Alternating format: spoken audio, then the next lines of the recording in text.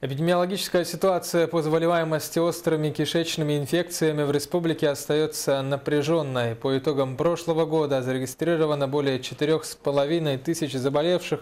Такую информацию озвучили на заседании санитарно-противоэпидемической комиссии правительства республики. Отмечено, что идет рост вирусной этиологии кишечных инфекций. Среди установленной этиологии у 80% приходится на ротавирусную инфекцию. Заболеваемость превышает среднереспубликанские нормативы в пяти территориях в городе Якутске, Алекминском, Алданском, Среднеколымском и Татинском районах. Кроме того, ситуацию осложняет и то, что в республике обеспеченность населения качественной водой составляет только 87%. Как известно, во время паводка качество воды еще больше ухудшается.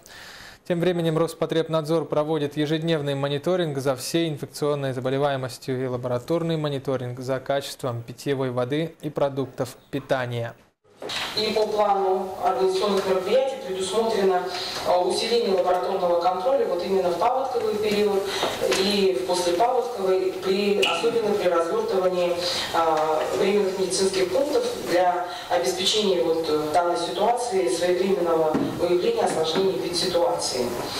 В республике продолжается проведение профилактика вирусного гепатита А, который обычно э, при ухудшении ситуации носит массовый характер заболеваемость. Но вот э, что радует, у нас в республике полномерно проводится и иммунизация в рамках регионального календаря против этой инфекции.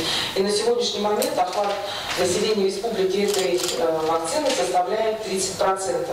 Э, ну, среди детей этот процент выше, достигает 36%.